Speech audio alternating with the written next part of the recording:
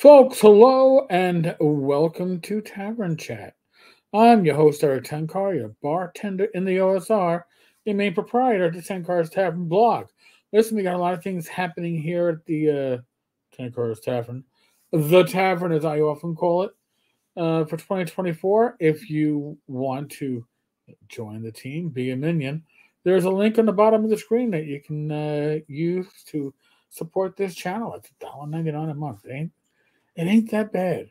Otherwise, hey, we'll take your subscribe subscription. Subscribe to the channel. It's free. Like, you know, you know the thing. So, James Lowder. James Lowder, uh, for those who don't know, uh, direct, they say direct. This is from ENWorld. Directed various lines for TSR in the 80s and 90s. He was um, like the fiction editor and uh, put together a lot of uh, compilation uh, fiction books of short stories. And I remember James's name popping up a lot. And he's been pretty uh, prolific on Facebook when it comes to talking about stuff that's going on in the gaming industry. And he said, um, it feels that it's a second golden age for game design and variety. Um, I guess you can have a second golden age. And he commented on WotC's Wizards of the Coast possible plans for a digital first edition of D&D. This is what I have heard. This is what myself, Bad Mike, others have been talking about, I don't know, since early 2023. If Hasbro, WotC, tries to make the new edition, now technically it's not a new edition. Let's just uh, clear that up. Technically, it is uh, the same engine. They're just changing the chassis. Right, so it's still going to be powered by 5E, but the power curves are going to change for the character classes and all that stuff. But if Hasbro slash WotC tries to make this or make try to make the new edition uh, a subscription based, highly monetized walled garden. So let's take this. There's a lot more to say about it. With radically increased direct to consumer sales, they will likely blight the market and the hobby. All right, so let's take this bit by bit. Subscription based. We already know that that's their plan, right? This VTT is not going to be free. They don't have hundreds of programmers working on a VTT. They don't plan on being a billion dollar IP for Hasbro, meaning the D&D brand, without going subscription based for the VTT. Now, we also know, uh, th- thanks to Cynthia Williams, that D&D players are under monetized that the DM carries the bulk of the monetization. D&D players often don't pay for anything. Not even Fritos and uh, what? Uh, what, what what's that? What's what's that soda? Mountain Dew. There you go. Man, not even throwback Mountain Dew with the real sugar. Uh, it's under monetized. Okay radically increase direct to consumer sales. Well, if you go digital, you're going direct to consumers. But we've already seen with the new pre orders that you can only pre order as a bundle. And the bundle includes, oh, that's right, a D&D Beyond version of whatever you're buying. Literally sending you to D&D Beyond. There's a, a subscription service for many, and it's going to be, I'm sure, for anyone who wants to use the VTT. Okay. Highly monetized walled garden.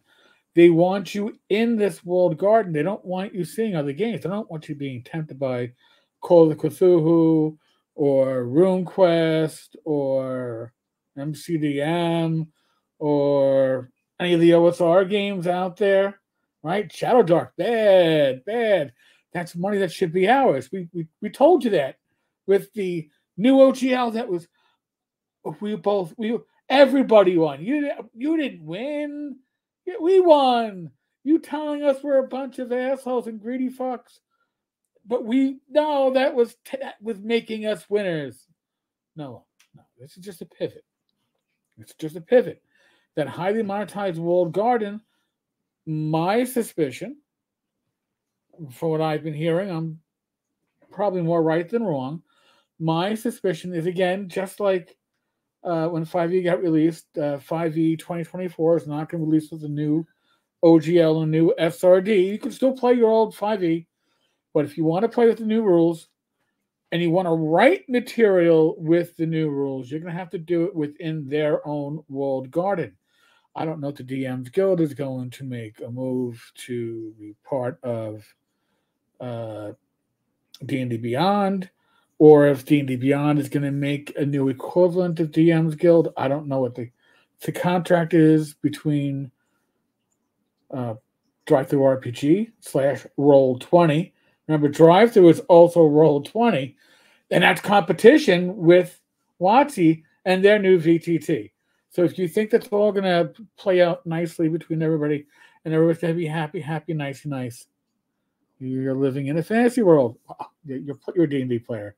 You already do that a couple of hours a week, but no, that ain't happening. With radically increased direct-to-consumer sales. By the way, we also saw that they uh, aren't they, are going to distribute their own right now to, uh, I guess, hobbies shops and stuff, uh, or at least bookstores. They lost they lost their Random House rep. I don't know. See how that works out. They will likely blight the market and the hobby, and this is likely to happen whether they succeed or fail.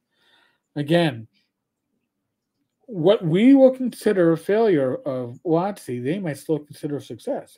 They could lose half their tabletop meat space pen and paper RPG market share and yet gain this new VTT walled garden market share, as long as their profit margins and their profitability is increased, they're considering it a win. They consider it a success. So this kind of move will roll back the overall audience for everyone. Certainly, there's people that you're not going to get, people that are going to be fed up with 5e and going to just leave the hobby. And these are players that could have picked up other games. Some of them will, many of them won't and could well remove RPGs from many stores that rely on D&D sales in order to justify devoting the shelf space to RPGs. Again, Hasbro, WotC is not going to see that as a failure because they want these people at the computer, their phone, their tablet, playing in their walled garden. And they are willing to, once they put the rules for 5e into Creative Commons, you knew or should have known they were talking about giving up the actual tabletop and said we're going to embrace the virtual tabletop with our not quite new set of rules but they're going to be new rules and you should buy them. Uh, d&d forever right? The forever d&d so it's it's refreshing to see somebody like james pretty much uh, probably not purposely. I don't know James follows me that closely. We are friends on Facebook.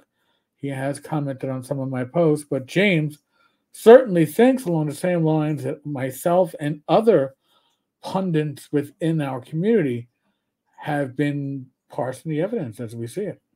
So let me know what you think. Give me your thoughts. And if you want to be a minion, there's a link on the bottom of the screen. I, we, we can always use the support. All right, folks.